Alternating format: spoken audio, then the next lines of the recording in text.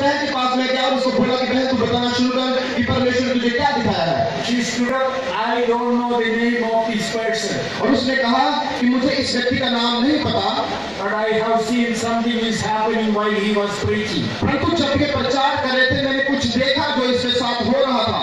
She told everything that repair work was done. और जैसे खुदा ने उसको दिखाया मेरे शरीर के साथ जो जो किया गया था उस औरत ने उस गवाही के दौरान सब कुछ बताना शुरू कर दिया। Hallelujah Hallelujah! Hallelujah Hallelujah! Hallelujah This is this is humbly I tell you. From October 10, 2010, I didn't see, I didn't have any smell of a cardiologist.